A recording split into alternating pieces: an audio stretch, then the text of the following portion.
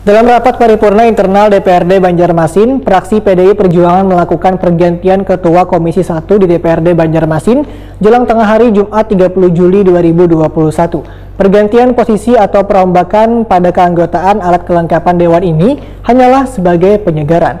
Berikut untuk kabar nang selengkapnya. Masih yang kita cintai dan semoga Allah selalu memberikan bimbingan dalam rapat paripurna internal DPRD Banjarmasin, fraksi PDI Perjuangan melakukan pergantian Ketua Komisi 1 di DPRD Banjarmasin jelang tengah hari Jumat 30 Juli 2021. Ketua Komisi 1 di DPRD Banjarmasin Suyato digantikan Saud Nathan Samosir yang sebelumnya anggota Komisi 3, sedangkan Suyato selanjutnya ditempatkan sebagai anggota Komisi 2. Selain itu, Saud Nathan Samosir juga dipercayakan menjadi anggota Banggar di DPRD Banjarmasin. Ketua Komisi 1 DPD Banjarmasin Saud Nathan Samosir Wetakuni Prima TV memandangkan pergantian posisi atau perombakan pada keanggotaan alat kelengkapan Dewan ini hanyalah penyegaran. Uh, Komisi 1 kebetulan Awi sebagai ketua jadi saya menggantikan ketua. Yeah. Yang kedua ada pergeseran uh, komisi uh, yang awalnya Awi di Komisi 1 ditempatkan di Komisi 3, Komisi 2, yeah. sedangkan Nasir yang awalnya di Komisi 2 digeser ke Komisi 3. Yang lainnya tetap. Itu aja yang terjadi perubahan. Harapannya kenapa Pak ke depan nanti Pak biar setelah adanya perubahan atau rotasi dari PDIP ini Pak?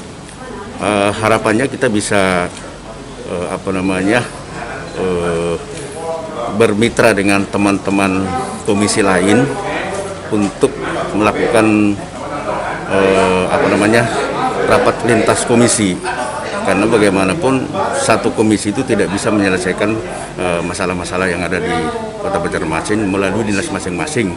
Uh, tapi dengan adanya uh, kesepahaman antara apa antara ketua-ketua komisi untuk melakukan rapat lintas komisi ini akan bisa menyelesaikan minimal mengurangi persoalan-persoalan yang di Kota Banjarmasin. Berkaitan dengan kinerjanya, WH menjadi Ketua Komisi 1 di DPRD Banjarmasin menurut Saud Nathan Samosir akan lebih intens untuk melakukan pengawasan termasuk inspeksi mendadak. Penyusunan jadwal program kerja pun mulai dilakukan termasuk melaksanakan rapat koordinasi antar anggota untuk merumuskan masalah dengan mitra kerja. Saud Nathan Samosir menegaskan perizinan akan menjadi permasalahan utama yang akan disoroti. Kalau saya lihat selama ini kan ada apa namanya selama saya di Komisi 3 ada beberapa kali penundaan rapat lintas komisi terutama masalah perizinan-perizinan bangunan-bangunan yang ada di kota Banjarmasin. Itu sementara yang saya dapatkan selama saya di Komisi 3 nah, mungkin setelah saya masuk di Komisi 1 yang mudah-mudahan ini akan bisa kita laksanakan uh, untuk uh, melakukan rapat lintas komisi dengan semua dinas yang terkait dengan itu seperti itu